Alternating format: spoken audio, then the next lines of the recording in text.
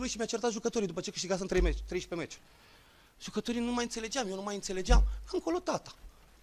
Tată, te strâng de gât. Te strâng de gât, tu nu-mi dă- distrugi mie jucătorii.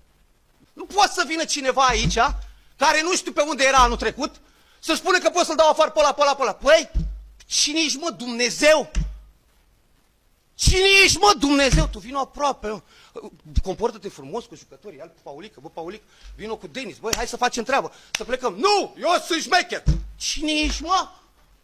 Frate, Toți avem personalitatea noastră. Toți suntem oameni.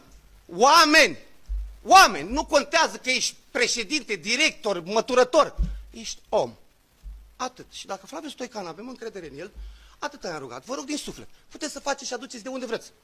Dar eu am un stil de joc. Eu vreau să pasăm, să ieșim cu mingea, am nevoie de jucători care fac diferența în față, am nevoie de cutare, am nevoie de cutare, am nevoie de cutare. Perfect. Și după aia mă trezesc cu un băiat care nu știu. Nu-l cunosc. Cum se poate întâmpla așa? După aceea plec în cantonament. Flaviu, sunt în cantonament de salariu de 6.000 de euro. Nu stau de clauze de sute de mii. Am rugat atât. Vreau să-mi dau ok din punct de vedere sportiv pe orice jucător. Nu am o problemă cine îi aduce. Eu am o problemă că nu sunt informat, am un principiu. Sunt antrenorul echipei. Eu nu am o problemă cu uh, Musa.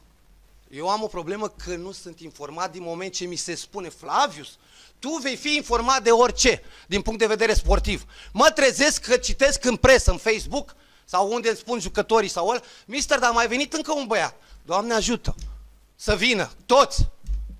Dar e vorba de mine. Atâta eu vreau. Eu vreau atât. N-am cerut nici bani. Banii care mi s-au dublat salariul, care ce, spune, ce se spune să scoate în evidență, cu clauze, s-a dublat datorită muncii care a fost anul trecut. Eu n-am venit să cerșesc bani. Eu am venit pe un salariu modic,